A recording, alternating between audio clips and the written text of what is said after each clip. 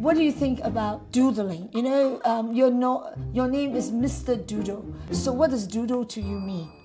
To me, doodling means to create something subconsciously and not focus too much on what it is you're creating and build an image or uh, create something uh, in a doodle-like fashion. So just start to doodle, draw something and then slowly let it build with different shapes and objects and patterns until this doodle grows and grows. And to me, that's really what doodling is, to create subconsciously. Your father said that you started doodling when you were eight years old.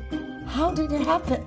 Well, uh, my dad said I think his memories of me drawing were when I was eight, but we have sort of sketchbooks from when I was sort of three or four, just doing little drawings of frogs and aliens and things. Aliens? Uh, yeah, I used to love drawing little monsters and things you like that. You still have monsters and aliens in your in your paintings. and it just sort of grew from there. Uh, I always had an interest in cartoons and video games when I was younger, and that's what inspired me to draw because I saw these characters on the screen and I wanted to create something similar myself.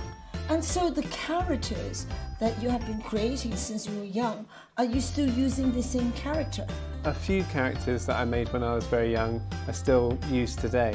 Like um, there's, I, I draw a little spaceship with two aliens in. Oh, yeah, yeah, yeah. I know which one. I Yeah, know which one. and I, I drew that when I was probably six years old or something. Wow. Yeah, well, sometimes I think doodling can be can be a narrative where you draw something. Sometimes I draw a character and I'll build a story in my head, and I won't uh, totally tell everyone that story, but it'll be there for me to know that it's there and for people to read into if they look for it.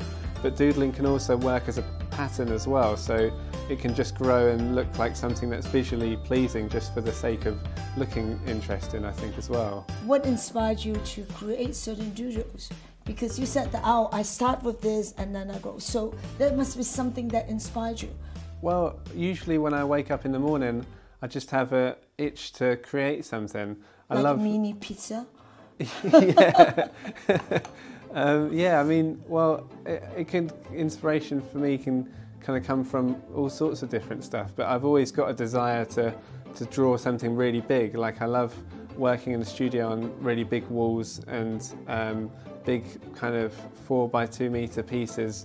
At first, when I started making my work, and no one knew who I was, and I went out dressed in my doodle suit to try and um, find things, jobs and things for me to do in the art world and stuff when I was younger. Um, I just had to sort of believe in myself and hope that other people would uh, understand that what I'm doing has some kind of value.